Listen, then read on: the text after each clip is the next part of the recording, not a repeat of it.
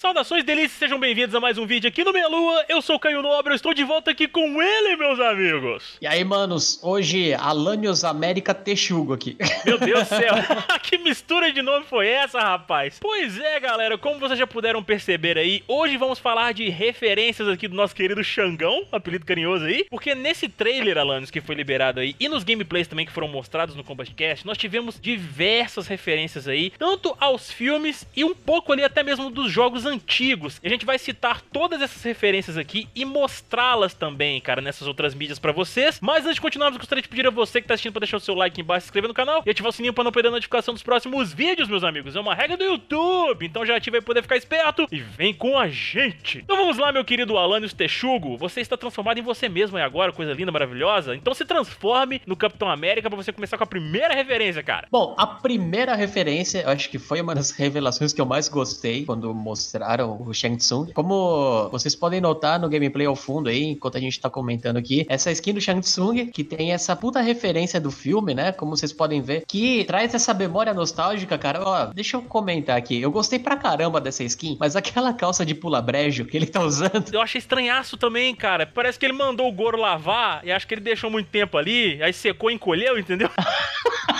Aquela calça do Chaves, tá ligado? É, Canela, rapaz. mano. Tá meio atrasado pra ir pro torneio, tava essa mesmo. Caramba, mano. Poxa, Shansung, não podia ter comprado outra calça, né, mano? Ficou tão legal, cara. Podia ter feito uma calça comprida até o pé. Ou ele tem essa calça assim no filme, a gente não percebeu, né? Não tem, não. Meu, seria muito engraçado um negócio desse, cara. Imagina, cara. O Shang Tsung ia deixar de ser assustador pra ser um alívio cômico do filme. Mas a próxima referência aqui, meus amigos, é uma frase que ele diz logo ali no trailer de revelação do personagem que remete diretamente a uma frase do filme que a gente vai deixar rolar aí agora pra vocês pra gente depois comentar. Vamos lá. And now a taste of things to come. And now for a taste of things to come.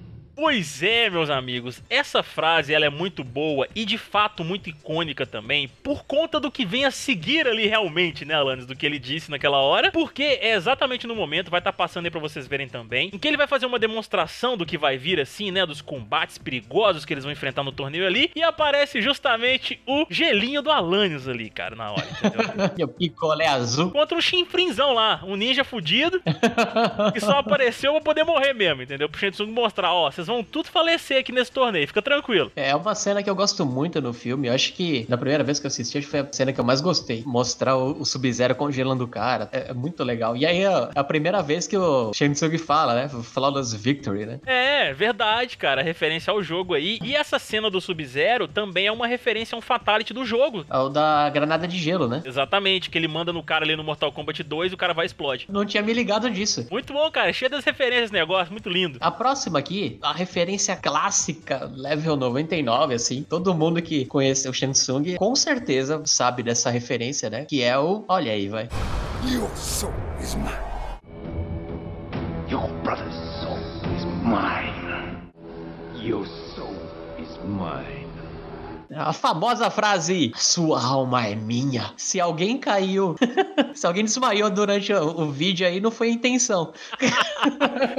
É, a gente vai observar esse negócio, sabe como, Alano? Se tiver uma queda muito brusca de likes no vídeo, De repente caiu um monte de gente em coma, tá ligado? Não sei que. É. Exatamente. Então, gente, por favor, antes da alma sair completamente do corpo, deixa o like, se inscreve e compartilha rápido esse negócio aí. Percebeu que tá ficando com tontura, já dá o like já. Já dá aí, ó. Porque a fala do Alanis é poderosa até mesmo através do microfone aqui, cara. E a próxima referência aqui, Alanis, é uma frase pequenina, rapaz, que ele manda ali no meio da luta de apresentação no trailer de revelação do personagem, que é essa.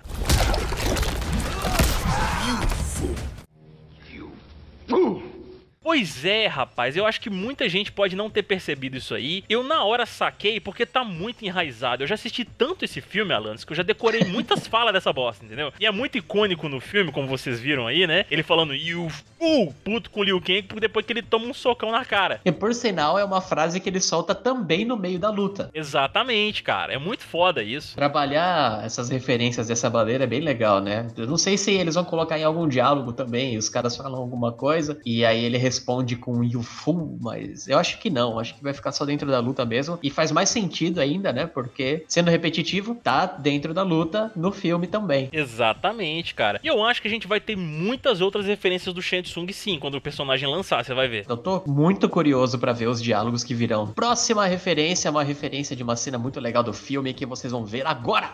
It has begun!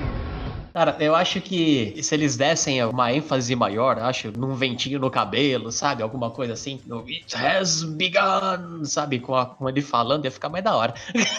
Poxa, demais da conta, cara. Essa cena ali, quando eu vi ele com os braços pra cima daquela forma, mesmo tendo o turbilhão de almas ali atrás, que a gente lembra do Mortal Kombat 9 aí, eu falei, mano, essa cena é a do filme também, com ele com os braços pra cima. Logo ali depois daquele embate que eles têm no início, do Scorpio e do Sub-Zero, que o Raiden chega ali, ele executa todo mundo e depois eles saem fora. Aí depois aparece ele lá, tipo, It has begun, né? Porque tá começando o torneio. Aí eles colocam exatamente essa mesma cena com as mãos para cima, cara. E a última referência aqui, meu querido Alanis, agora não é do filme mais não, cara. Agora é uma referência do jogo aqui, que os próprios apresentadores do Combat Cast disseram que é. No momento quando ele termina a luta contra a Jade ali e ele dá um brutality, né? Aquele chutão na bola de futebol ali, entendeu? Faz um golaço, rapaz. A gente até vê o Galvão Bueno gritando ali na hora. É tetra!